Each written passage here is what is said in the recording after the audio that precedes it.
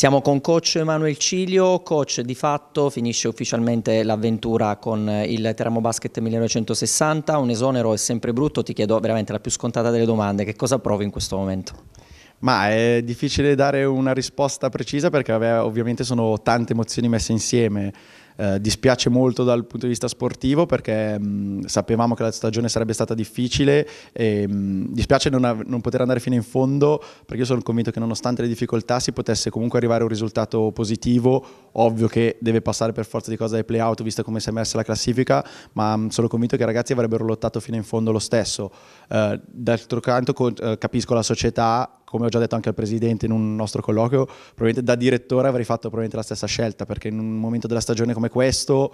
o cambi mezza squadra e non puoi, eh, o comunque devi trovare il modo di reagire. E purtroppo in Italia, ma di solito salta l'allenatore e soprattutto se fai un progetto non troppo a lungo termine, magari non con i giovani ma sui più anni, giustamente il cambio lo fai sull'allenatore perché non hai tempo di aspettare.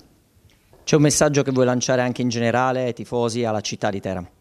No, posso solo che ringraziare per l'ospitalità perché in questi mesi mi sono trovato molto bene, soprattutto dal vista personale, nel senso dell'ambiente, chiunque ho conosciuto, i presenti, sono stato veramente trattato sempre benissimo, infatti credo di aver risposto sempre con entusiasmo, eh, anche nonostante le mille difficoltà avute, io sono sempre stato al palazzetto dando il massimo, quindi so, so di aver dato tutto, ribadisco, dispiace come è finita, ma non posso essere che contento dell'avventura, tornassi a luglio lo rifarei senz'altro anche se è finita così.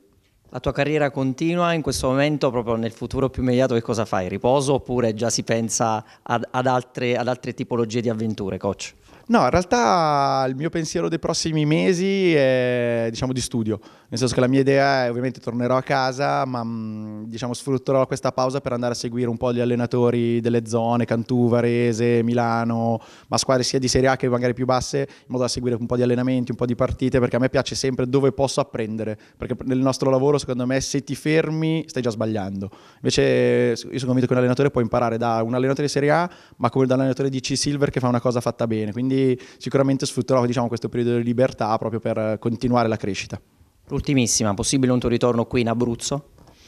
Non, non, chiudo nessuna porta, nel senso che comunque la, la, mia speranza è di poter fare carriera e quindi sono convinto dei miei mezzi, quindi ci proverò. Quindi se ci fossero offerte all'Abruzzo, perché no, l'ambiente mi è piaciuto.